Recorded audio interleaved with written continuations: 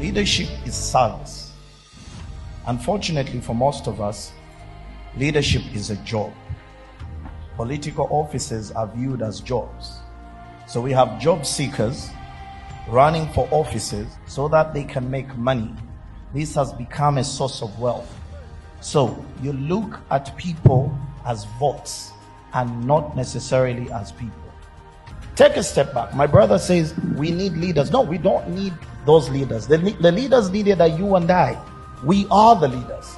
We are supposed to step up and say, for our people, what can we do better? The man that I talk among the people campaigning for leadership, he's called Kuku Kwatin or something like that. This is the guy who has some leadership inside. Uh, Kofi Kwatin or Kofi Kwatin. Yes. This guy has some brilliant ideas. Because as a leader, you must know the truth of what you are coming to lead. So he mentioned about the debt we have. And he talked about agric. You see, I'm talking about cassava. He said, let's put $10 billion in cassava agric. And I tell you, 10 billions, if we put 10 billion in cassava, hey, Ghana will be more than okay. And every village can farm cassava. So what are we talking about? So I love to be in my country than to be abroad. But I can only see that happening if the country can be led properly. Let's stop this politics. Look at the manifesto. Yeah, this guy, he talked about manifestos are not what we need. We need a national development plan.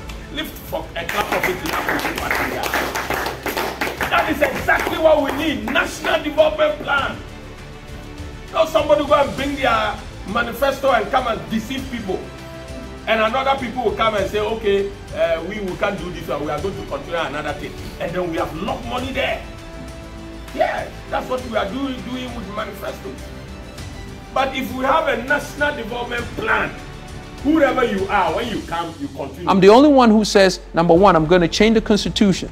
Number two, I'm going to eradicate corruption. Number three, I'm going to institute a national development plan. Number four, I'm going to reduce government by 73%, make it effective, efficient, and functional. And number five, invest $10 billion in agriculture for the next 10 years. Drone controlled mechanized farming.